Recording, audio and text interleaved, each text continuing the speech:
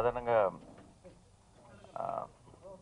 బయట ఎక్కడ ఎప్పుడు ఏం జరిగినా సరే ఏంటి సినిమా ఇండస్ట్రీ వాళ్ళు పట్టించుకోరా అని అడిగే వాళ్ళు ఉంటారు కానీ సినిమా ఇండస్ట్రీ వాళ్ళు కష్టాల్లో ఉన్నప్పుడు పట్టించుకునే వాళ్ళు కూడా ఉంటారని వాళ్ళకి తెలిసింది.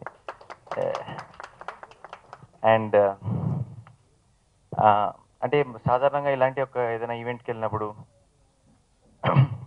మామూలుగా చాలామంది సా ఎవరికైతే సహాయం అందుతుందో వాళ్ళందరికీ చిన్న కన్ఫ్యూజన్ ఉంటుంది ఒక చిన్న క్లూలెస్నెస్ ఉంటుంది.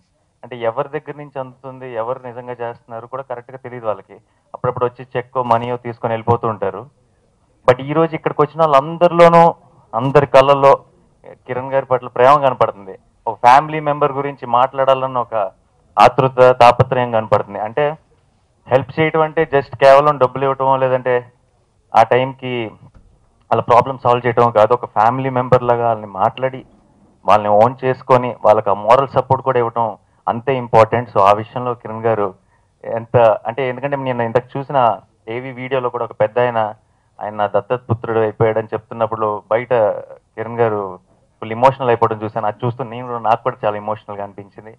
అండ్ ఎంత చేసినా ఏం చేసినా అలాంటి సాటిస్ఫాక్షన్ మాత్రం ఎప్పటికీ ఎవరికి ఉండదు. సినిమాలు కానీ సక్సెస్ కానీ ఇవన్నీ నథింగ్ కమ్స్ క్లోజ్ అండ్ ఆ విషయంలో ఎక్కడికో వెళ్ళిపోయారు Kiran garu. And I hope your journey continues like this in fact ఒక ten days back Kiran garu phone చేసి దీని గురించి ఈ ఈవెంట్కి రావాలని అడిగినప్పుడు కరెక్ట్గా ఈ టెన్త్ రోజు అని చెప్పారు. అండ్ టెన్త్ రోజు నాకు ఇది ఈ బిగ్ బాస్ ఎపిసోడ్ వన్ ఇలాంటివన్నీ చాలా హడావిడి. నైన్త్ రోజు నైట్ అంతా షూట్ చేయబోతున్నాం.